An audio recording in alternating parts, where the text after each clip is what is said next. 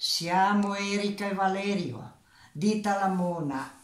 Anche noi sosteniamo il sogno di Seba 85 per avere una pista sicura in Valtellina in suo onore e per tutti gli amanti delle due ruote. Ciao!